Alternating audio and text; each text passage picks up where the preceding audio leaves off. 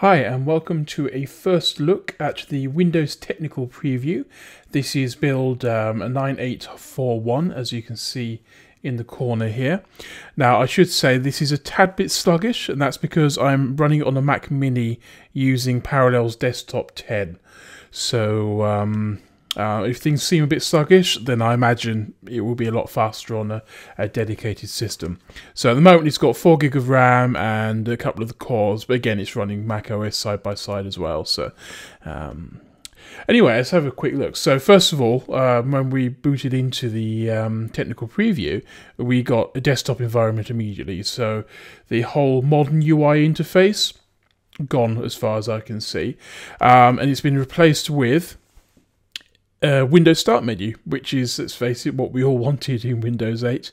Um, I mean, don't get me wrong, the Metro interface was, or well, it's called the Metro, but the modern UI interface um, was absolutely brilliant if you're using a tablet. But for uh, um, the majority of machines out there, desktops and laptops, we're still using the old keyboard and mouse.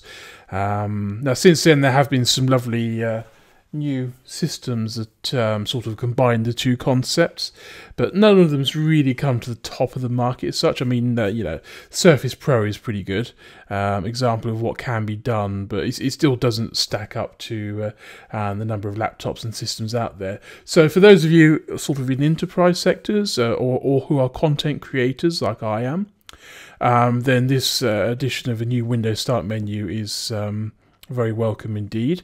Now, um, they have married the Metro interface and the uh, I keep saying Metros because that's how they advertised it originally. Um, so they kind of married it into one element. So you've still got access to your live tile um, elements here. All these things will update. Um, but in addition to this, you've also got a very traditional looking um, Windows 7 esque looking start menu. Um, now, one of the things you can do is resize it.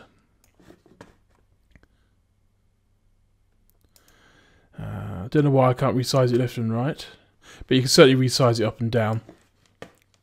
So if you want um, a low flat one, you can have a low flat one. If you want a taller one, then you can do that as well. Or if you just want more program items, and that's uh, all available there as well. Um, obviously, we got some feedback and all that kind of stuff. Uh, I'm not entirely sure. I mean, this, this is literally my first time running it. I, am I'm, I'm sort of rambling on as I look through this myself. Um, but we got the usual things you'd expect. Uh, sort of alarms, calculator, calendar, calendar, uh, camera, I mean, um, documents, finance, blah, blah, blah. Got sort of all the applications you come to know and love in Windows 8, um, plus the uh, Camtasia Studio I'm using to record this. So, other than Camtasia and, of course, um, the Parallels Desktop shared folders, well, basically the Parallels Desktop stuff has been installed as well. Uh, but other than that, I'm not entirely sure what this workbook is. Um, oh, it's a shared desktop. Okay, okay, sorry yeah, so um, yeah, there, there, are a few things that have been added via Parallels, um, but other than that, it's basic Windows. Um, I mean, it's not that exciting. It's it's okay, but to be honest, I don't really see that much benefit over only Windows 7. To be honest, I mean, you get the Start menu back, uh, and that's about it. I mean, it is nice that you can resize things, but um, other than that, it's a bog standard Windows desktop environment. Now they are they are um, looking to introduce some new technologies. Something called Continuum is going to turn up eventually. It's not available yet, um, where it actually senses what kind of device you're using. So if you install Windows 10 on a tablet, then it will default to the uh, full screen app. Oh yes, that's right. Um, if we open up um, an app here, you'll notice that we got a little thing and this is basically for your charms menu. So uh, just wait for the. Might ask me to log in actually because uh, I haven't yet. Uh, do, do, do, do. It's taking a while, isn't it? Okay, let's try another one while that's going. Uh, let's try the calendar. So we've got the calendar app.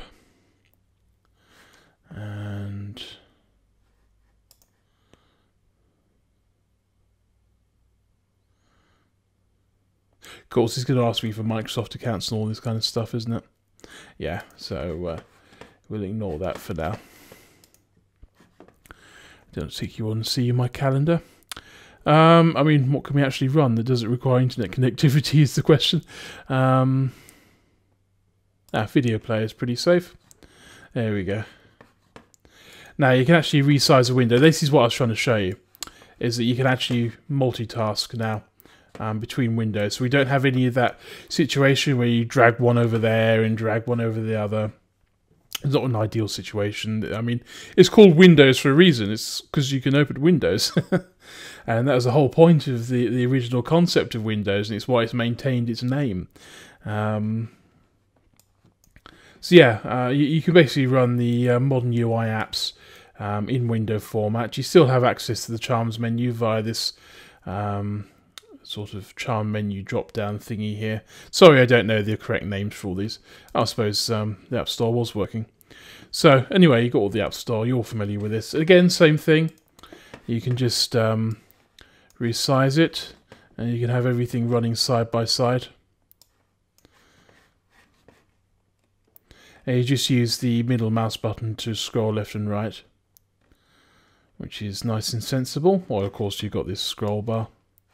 But basically, you re resize it to any um, sort of size you like. That's interesting. It's not sizing up and down.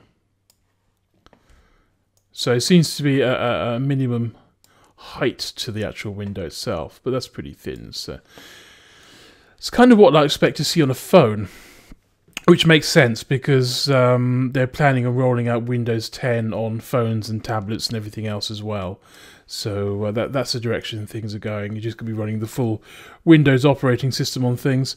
Um, as far as I'm aware, they're dropping the whole RT thing as well. So we're just going to have a full version of Windows 10, um, which will be good if we can get that. Of course, it also means suddenly your phones are susceptible to viruses and things. So we'll see how well that goes. Um, but yeah, I mean, it's a full operating system. Um, you got all things you'd expect, sort of. Uh, Netflix and a few games. Um, oh, it's not really a review of the store. And you just close down windows like this. Sort of um, um, very card filed look. Um, well, it's down to personal taste whether or not you like it. I don't really care one way or the other, to be honest. I, I'm kind of glad just to get the start menu back more than anything else. Um, because of course, even with Windows um, 8.1 Update 1, you don't really get a start menu. What you basically get is, you know, um, the full start screen, um, which yeah, it's, it's fine. But I mean, the trouble is, I've, I've been doing a lot of volunteer work recently with um, people who don't know how to use computers. Um, so it could be anyone from a sort of 90 year old lady trying to do a shopping online to someone who's just never taken the time to learn them. Uh, and their questions always about Windows 8. Is it really as bad as it sounds? But how's the learning curve and all this kind of stuff? And um, I mean, most of them, even though they don't have much experience, will have used Windows at some point in their life. And by maintaining that consistent menu, it means they can generally get the idea of how to run things pretty quick. But the modern UI interface really did confuse all of these people. Um, and, and half my time um, doing this volunteer work is teaching people how to use the Metro interface. Again, I'm referring to Metro there because that's how they originally advertised it. Um, but yeah, uh, so so having this start menu back should sort of alleviate that problem. And also, you have to think about employees, um, anyone working for a company, enterprise customers, and they are a huge part of the Microsoft business model. Um, sort of them being shunted aside in this in this sort of vain quest to emulate Apple. Um, basically didn't go very well. so. Uh, and I imagine that's. I mean, the, the other thing, of course, we'll notice is it's called Windows 10. It's not Windows 9. Um, I've got a number of theories for this. It's all guesswork, of course, but I imagine first of all, um, you got Mac OS 10 there, so now they can compete directly with Apple by saying, "Well, we got version 10 as well." Um, my second theory is Windows 9 sounds like the German word nein for no, so Windows No doesn't really have a great marketing term. Um, I doubt that's really true, but it's amusing to think about. And of course, the other thing is just to distance itself from Windows 8 because it was such a disaster. Uh, and it's got such a negative um, word of mouth commentation about it. It's uh, again, I mean, all these people are coming in. They know very little about computers. The one thing they've all heard is that Windows 8 is difficult to learn, or it's annoying, or people don't like it. Um, and that's the one thing they keep coming in and say, "Oh, should I get Windows 8? Is it really as bad as as, as they say?" And of course, the short answer is no. It's it's, it's uh, you know it's got a di- slightly different learning curve, and because they're people who don't really use computers anyway, and they're coming in fairly fresh, you know, there's no real advantage to Windows 7 to Windows 8 because they're not having to relearn anything. But to anyone else who's used uh, sort of Windows 95 onwards, um, there is a little bit of a learning curve, a little bit of a, well, a huge culture shock there. And it's just this, the fact that I can get to my my you know folders and, and programs very easily just by uh, by going to the item menu here. Um, it's just I just prefer this. You know, it's familiar, it's easy to pick up. It's not something you have to go out as a business and retrain your entire staff on how to use, which is the uh, the biggest thing.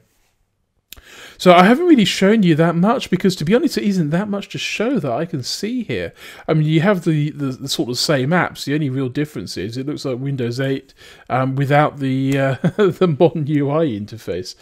Um, you've got sort of the, the, sort of apps I'd expect. You've got Windows Explorer and all this kind of stuff. You've got the live tiles here. It's, I suppose it's kind of nice, but to be honest, even when I, I, I mean, I do use Windows 8 on my big desktop, but to be honest, I never actually use the live tiles. I don't see any reason for it.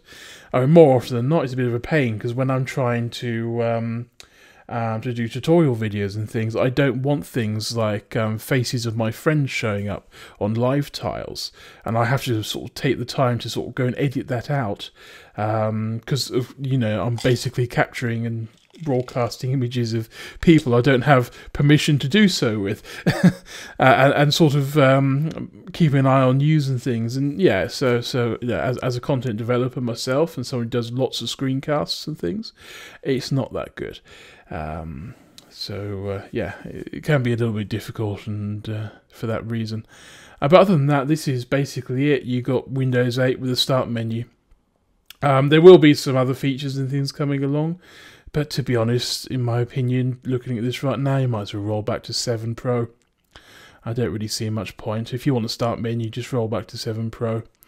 I don't see enough of a benefit here to justify um, a whole version number.